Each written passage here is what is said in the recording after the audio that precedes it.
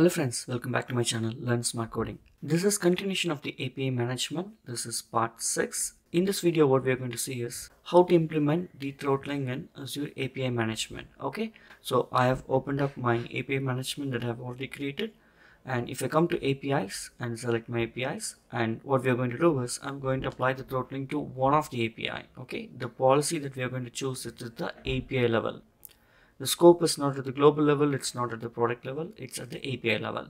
So i'm going to choose the get all category api and then and when you choose this api if you go to the inbound policies see inbound policies and backend policies so basically go to the policies and then uh, this is the inbound. So what you have to do is select inbound go to snippet and here what we are going to do is rate limit okay? So let's quickly search for that rate limit so you see this says set usage quota per key. That is one kind of API. And here what we are going to do is uh, the limit the rate call per key, limit call rate per subscription, right? So let's go and choose this one. So you see this automatically this this appeared and basically what we are going to do is rate limit by key. So uh, instead of doing a rate limit by key, let's do a rate limit and then the calls will be the five calls. Okay renewal period is seconds which is like five seconds. Okay?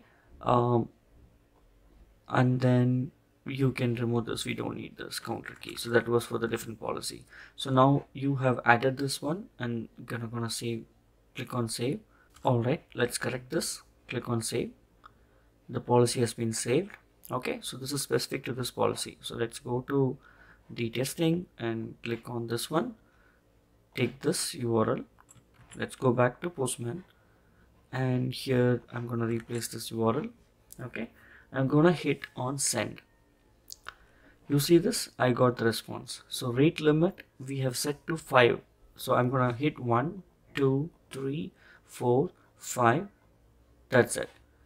So within 5 seconds i got hit more than 5 times. So that's why it got 429 too many requests so once the renewal period which is like 5 seconds that I have set so it has to wait at least for that time. And then after that if you wait for see now try again in 35 seconds. So basically too many requests came. We need to wait for like 35 seconds based on the configuration that we did. And then if after that if you hit send it will come. So let's gonna I'm gonna pause that for a second. Okay. Okay. So let's try now.